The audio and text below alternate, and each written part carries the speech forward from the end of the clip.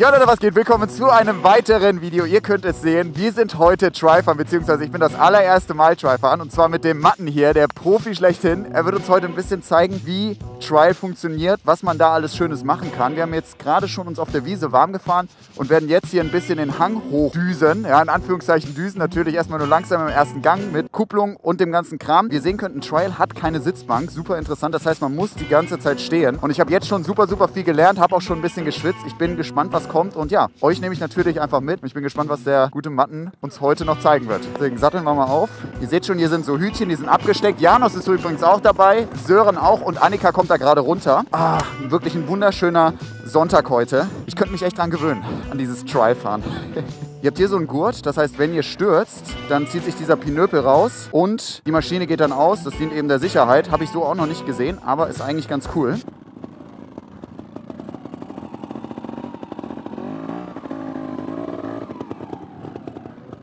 Oh, es ist so ein krasses Gefühl. Heftig. Was halt wirklich insane ist, ist das Gewicht von der Maschine. Das Teil ist so leicht.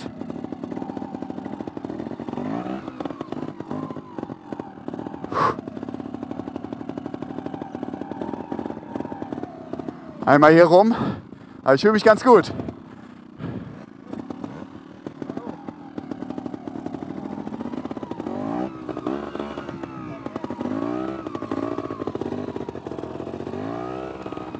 Da muss ich einmal kurz absetzen. Alter Schwede, überall, schaut euch das an, überall fahren hier Leute auf den Trials rum. Das sind alles Leute aus unserer Gruppe. Da hinten ist auch noch ein Instruktor, oben mit dem Neongelb an. Es ist so cool. Auch mega, mega anstrengend. Also die Technik eine ganz andere. Ich habe vorhin schon von Matten gehört, dass man eben eine bestimmte Position hier haben muss. Und zwar mit den Füßen hier ungefähr auf der Position, ein bisschen weiter außerhalb von der Raste, sodass man hier quasi das Gelenk sieht. Also nicht in der Mitte, nicht vorne, sondern quasi hier ungefähr das Stück. Und dann die Ferse ordentlich nach unten, damit man nicht so zappelig ist auf dem Motorrad. Uh. Ganz leicht die Vorderradbremse. So, einmal geht noch. So langsam komme ich rein, Leute. Einmal rüber. Uh.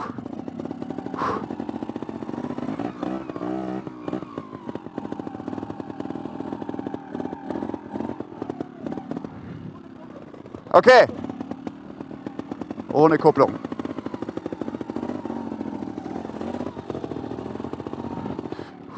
Es ist Wahnsinn, Freunde. Dieses Gefühl, es ist unfassbar. Die Hinterradbremse ist auch insane. Also wenn ihr die einmal nur kurz antippt, ich schwöre es euch, die packt so krass. One more try. Vielleicht kriegen wir den engen Kurs jetzt hier hin.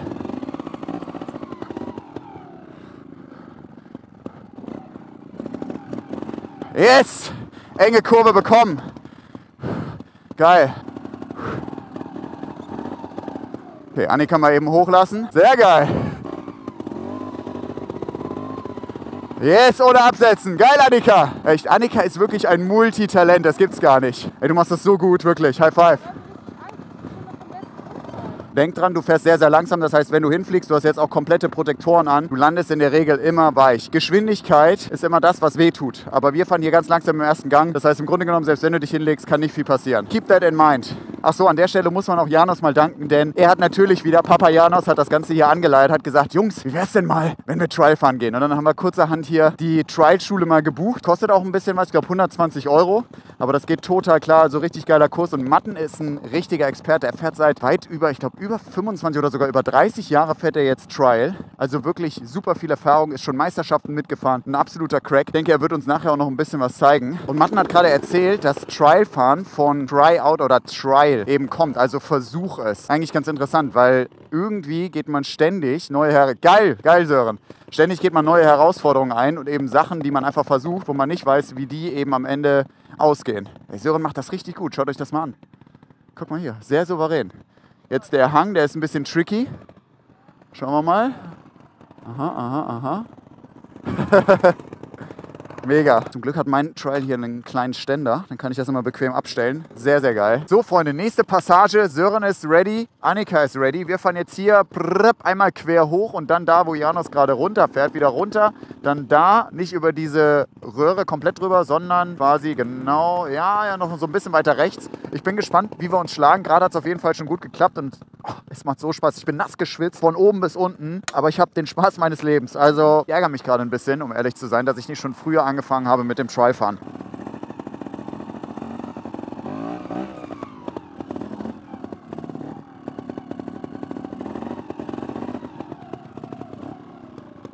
Okay, jetzt wieder runter. Keine Kupplung, leicht bremsen. Genau. Bremst du hinten oder vorne leicht? Vorne auf jeden Fall. Ja. Die ist sehr aggressiv, die Bremse hinten, muss man sagen. So, leicht runterrollen lassen. Zack. Easy Game. Jetzt hier eine schöne Wende.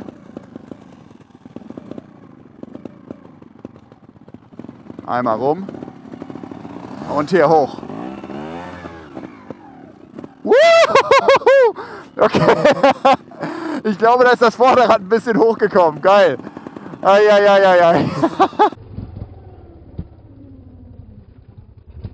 Ist unfassbar. Also ihr müsst euch überlegen, die Teile hier sehen zwar klein aus, aber die haben teilweise 300 oder 400 Kubik. Also wirklich insane und halt Drehmoment ohne Ende, damit man überall raufkommt.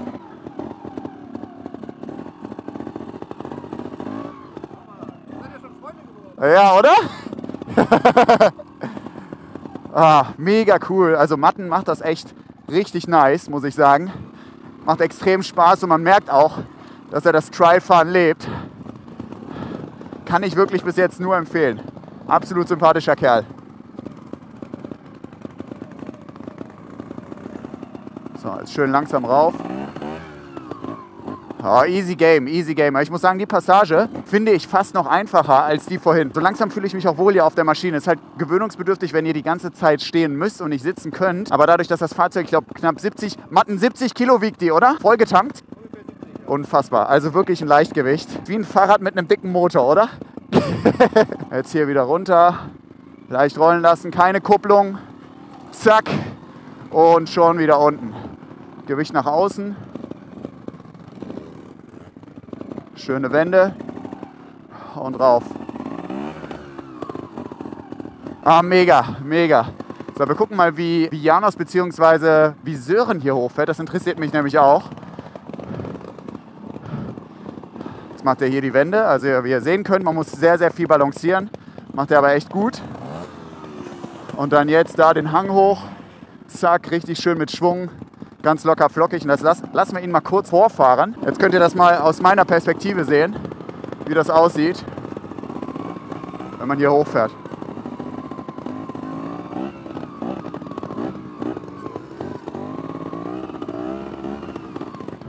Woo! Also Sören ist den rechten Weg gefahren, ich bin den linken Weg gefahren. Jetzt wieder rollen lassen. Leicht bremsen. Gewicht nach außen.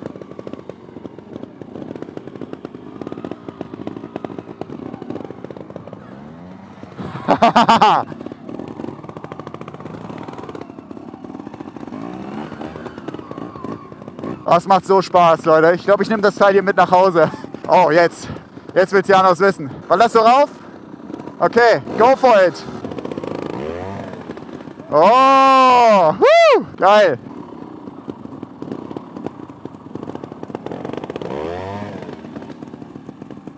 Ich glaube, irgendwo hier vorne, wo wir dann so einen kleinen Trial Wheelie machen sollen. Und mit diesem Trial Wheelie fahren wir dann eben diese Stufe hoch. Bin gespannt, ob das gut funktioniert. Wird wahrscheinlich nochmal was ganz anderes sein als auf einer normalen Enduro bzw. auf einer Supermoto. Ich weiß nicht, ob ich ready bin, aber ich versuche das jetzt einfach. Ich versuche jetzt einfach diese Stufe da hochzufahren. Janos macht es mal eben vor. Zack, zack. Sieht leicht aus, ist es aber wahrscheinlich nicht.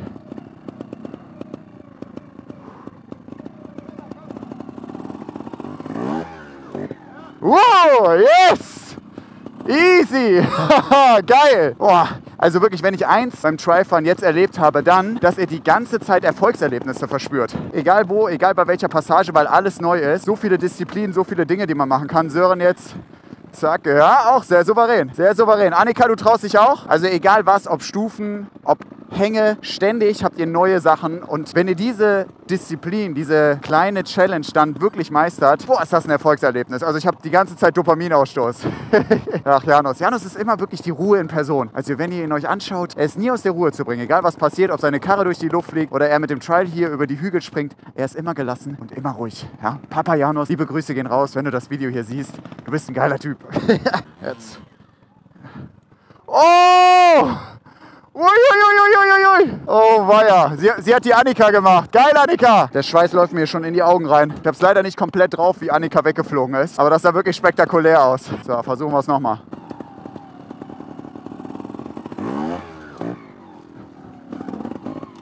Yes! Geil. Es macht so Spaß, Leute. Ich kann auch gefühlt diese Stufe richtig anvisieren. Yes! Ey, das macht so Spaß. Das ist so geil. Soll ich mal in der Mitte versuchen? Ja? Okay, so, ein bisschen steiler. Ja. Ja, das war der Backflip-Modus. Okay, nochmal. Yes! Ohne Füße runter. Stufe erfolgreich überstanden. Bis gleich. So, Freunde, nächste Challenge. Wir haben hier ein paar Baumstämme, wir haben ein paar Betonhindernisse. Janos fährt hier gerade schon drüber. Das werde ich gleich auch machen. Dann fahren wir da hoch. Zack, zack, zack, zack. Er fährt eine engere Passage. Wir fahren eins weiter. Dann oben rauf und dann eben da. Klack, klack, klack, klack. Die vier Dinger runter. Und dann, ja, schauen wir mal, was das Ganze gibt. Annika, du bist ready? Das sah jetzt nicht so überzeugt aus, aber ich glaube, Annika schlägt sich heute echt extrem gut. Bin mal gespannt, ob sie die Sektion hier auch probiert.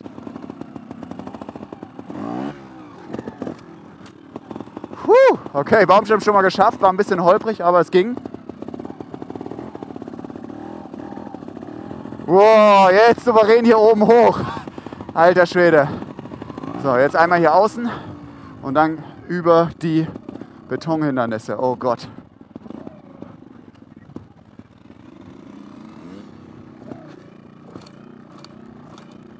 Boah,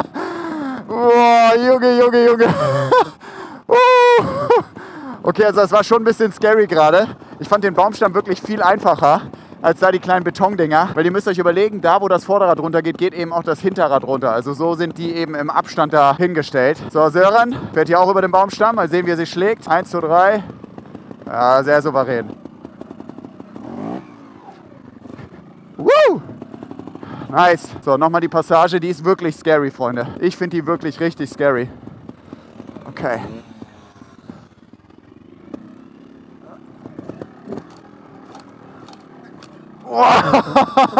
Janos spürt es auf jeden Fall schon. Er ist richtig im Try-Modus. Okay.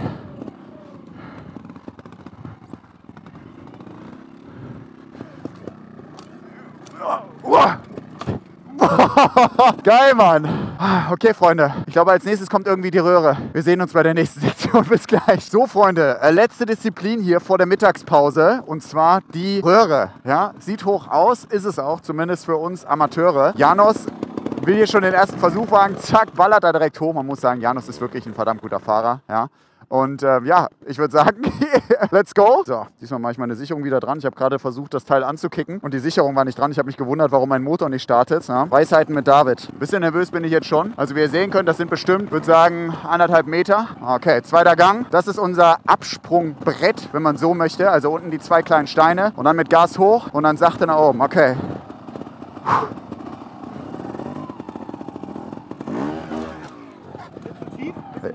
Ja.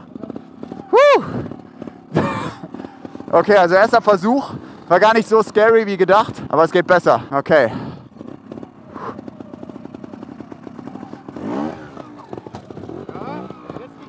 Ja? Nach vorne, okay. Geil. Ist unfassbar. Wenn man davor steht, sieht es so hoch aus, aber wenn man dann einfach macht. Yes! Woo! Yeah! Geil! Uh!